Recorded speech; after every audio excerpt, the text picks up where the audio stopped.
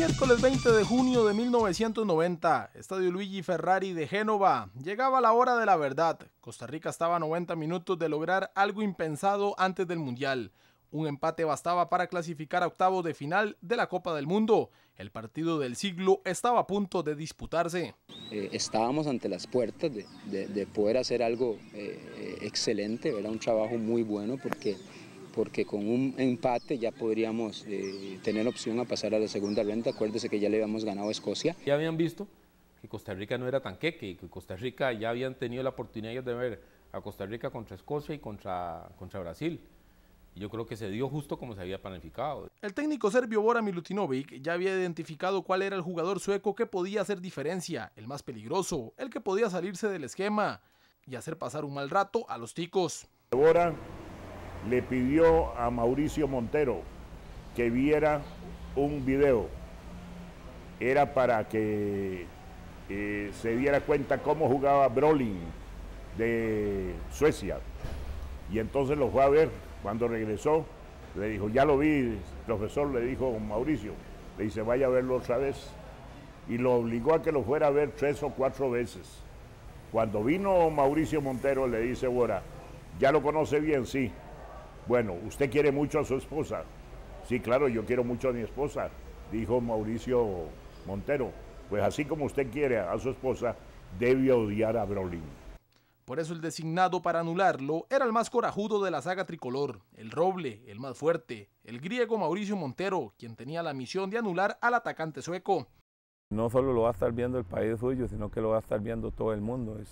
Entonces, si usted me anula a Brolin, usted nos da la, clasificación a nosotros porque es el único que nos puede meter un gol, es el único que se sale del libreto porque era muy rápido, muy técnico y habilidoso y tenía gol. Yo andaba eh, detrás de Brolin los primeros 18 minutos y yo andaba con la mano mía, yo andaba dando, liando, liando atrás de él y él sabía que yo iba a andar atrás de él y yo nada, yo, yo lo único que le hacía era esto, nada más, que yo andar atrás de él mordiéndole la oreja, ¿verdad? Y ahí, ahí, el cada rato me volví a ver y me decía, este está loco, porque le decía a los otros que seguro yo estaba loco, quién sabe qué, ¿verdad? porque yo no lo soltaba ni, ni un minuto. En ese momento, el delantero sueco Thomas Brolin era de los mejores de Europa. Sin embargo, Montero lo tenía tan estudiado que ya para el día del encuentro no lo intimidaba. Repelladito, repelladito, como decía Matapín, bolita y tobillito. Entonces sí lo agarré, lo agarré con bola, primero le di la bola y después lo agarré a él por el tobillo y ya después no pudo, no pudo entrar más a la cancha. Salió, lo atendieron, volvió a entrar, pero volvió a caer otra vez, ¿verdad? Por, por lo fuerte que era yo, pero yo lo tenía tan, tan conocido como era como si estuviera jugando con mi hermanillo, ¿verdad? Yo sabía que él se me metía al medio y me picaba la banda y cuando estaba la banda me giraba para adentro, no me giraba para afuera, ¿verdad? Y, en el giro que hizo fue la banda y en el giro que hizo ahí lo, ahí lo agarré en el, en el tobillo. Primero lo lesionó y después, y algo más que le dijo Bora, le dice, el juego que usted va a emplear me lo hace fuera del área, no dentro del área. En una lo agarré con, con balón y lo que, jugó, lo que jugó fueron 18 minutos del primer tiempo, ¿verdad? Y mucha gente al, principio, cuando yo jugaba aquí, decía que bueno, que yo no iba a jugar ni el primer partido porque en el primero me, sacaban la roja y yo jugué los cuatro partidos y me vine sin una sola amarilla, ¿verdad? Entonces, eh, físicamente yo andaba volando. Pese a la ausencia de Brolin, el asedio de Suecia era total. Ellos necesitaban forzosamente la victoria, pues venían de dos derrotas consecutivas. Costa Rica realmente se veía intimidado por su adversario. El equipo nacional no se encontraba. Suecia tenía una muy buena selección, era un equipazo. Entonces, lógicamente que, ellos nos apretaron las salidas, no nos dieron espacios y, la verdad es que, que, nos confundieron muchísimo. Y al minuto 32, Johnny Ekstrom aprovechó un rebote de Luis Gabelo Conejo para adelantar a los escandinavos. 1 por 0. Parecía que el mundo se le venía encima a los nuestros. El gol sueco llegó en un segundo balón. Varios jugadores de la saga se sentían culpables, pues ese baldazo de agua fría se pudo evitar. Fue una indecisión mía, porque tácticamente eh, yo siempre tenía que ir por la segunda bola. O sea, la reacción mía no fue la, más oportuna en ese momento. Yo, yo me sentía culpable por el gol que nos había hecho Suecia ¿Por qué? Porque yo en, el afán de acortar un poco espacio, porque el, que le pegaba fuerte de, ellos, le pegaba muy fuerte, ¿verdad? Entonces, en, el afán de, adelantarme un poco, a la barrera para achicar espacio y la bola pasa por ahí. Pasa por ahí, la tapa Gabelo y se la tapa y entra otro.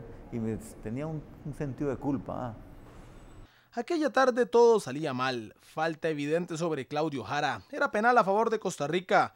Pero Zoran Petrovic de Yugoslavia no lo quiso pitar. Yo estoy muy seguro de que esa jugada eh, no se penalizó, pero sí, sí, sí era seguro de que, de que él me causó un foul en ese momento. Lo que pasa es que, como te digo, Suecia, Escocia, Brasil son potencias a nivel futbolístico y este, nosotros casi no nos conocen. Todas, todas esas jugadas casi siempre las se va los árbitros. Con el final del primer tiempo, Costa Rica solo había realizado un solo remate a gol. Fue ahí cuando la situación se descompuso en el camerino, donde los reclamos afloraron.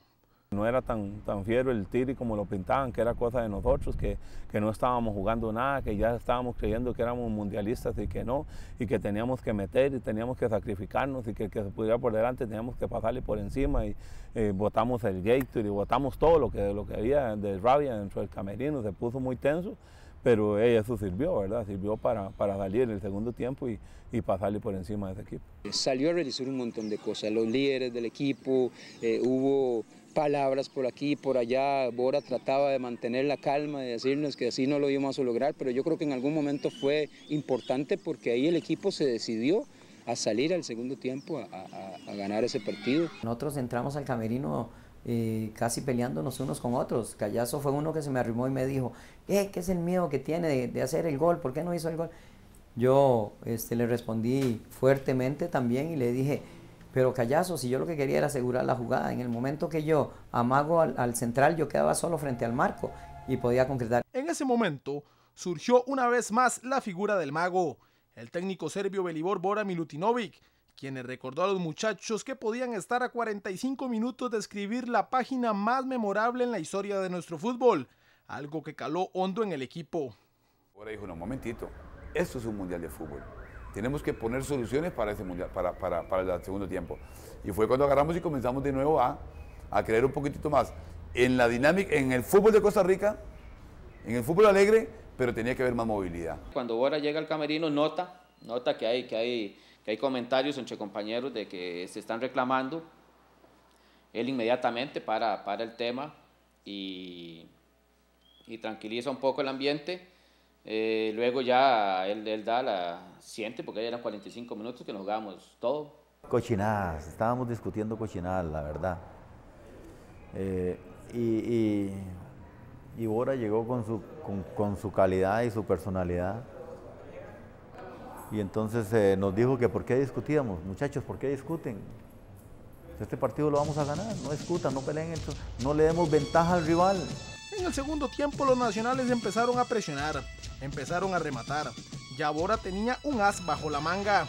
Hernán Medford, este, nosotros lo teníamos, lo teníamos, eh, lo teníamos muy ubicado, lo, teníamos muy ubicado para minutos finales para minutos finales, finales, finales. Cuando él entra, todavía no es la etapa final del partido, ¿verdad? Nosotros necesitamos, este, obviamente, el triunfo, estamos muy bien con el triunfo y la velocidad de él por los dos costados descontroló completamente a los suecos. Era el joven de 22 años Hernán Medford, quien ya estaba listo para herir eternamente el orgullo de la afición sueca, siendo el hombre clave, el cambio radical, que aquella tarde le dio un giro a la historia. Voy a ser sincero, yo jamás pensé que iba a ser 25 minutos como los que hice, jamás. Dije, tengo que aprovecharlos, pero la verdad es que fueron 25 minutos muy buenos, no solo míos, sino de, de todo el equipo. La historia apenas estaba a punto de escribirse, el juego del siglo apenas comenzaba. Perdimos el miedo, que fue fundamental. Es decir, cuando ya empezamos a jugar, a tener el balón y empezamos a ponerlos nerviosos a ellos y entra Medford con la velocidad y entra Medford con esa picardía que tenía y que ya no lo podían agarrar, nosotros lo creímos, nos creímos y nos fuimos al, al frente, ¿verdad? Nos fuimos al frente a atacarlos.